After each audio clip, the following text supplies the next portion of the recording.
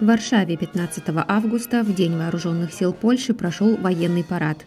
Подобные масштабные парады здесь проводят редко, но этот, по словам организаторов, должен был стать крупнейшим в стране с 1989 года.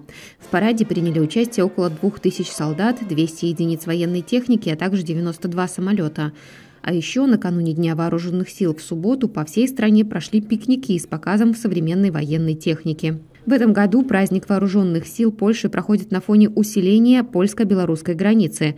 Министр национальной обороны Мариуш Блащик напомнил, что польская армия продолжает укреплять границу, чтобы противостоять возможным атакам Беларуси и России.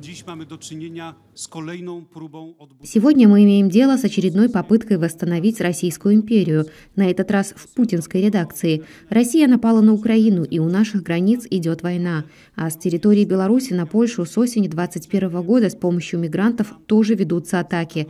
Они продолжаются до сих пор. Каждый день происходят попытки пересечь польскую границу. Они не заканчиваются успехом благодаря укреплению польской границы. Мариуш Блащик подчеркнул, что усиление военного присутствия – это сдерживающая мера, а не враждебная акция, как заявляют Минск и Москва.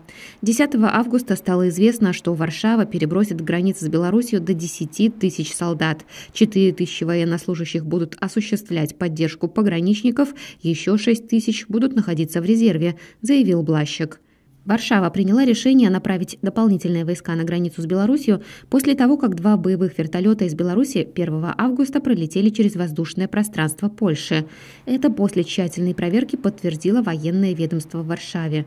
Министерство обороны Беларуси опровергло обвинение в нарушении воздушного пространства Польши. В свою очередь, Александр Лукашенко 11 августа заявил, что готов налаживать отношения с Польшей. Что и с поляками надо разговаривать, и поручил премьер-министру связаться с ними, что если они хотят, давайте разговаривать, давайте налаживать отношения.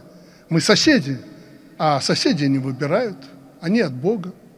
На это в МИД Польши ответили, если Беларусь хочет улучшить отношения с Польшей, то она должна прекратить атаки на польскую границу, освободить журналиста Анжея Почобута и других политзаключенных.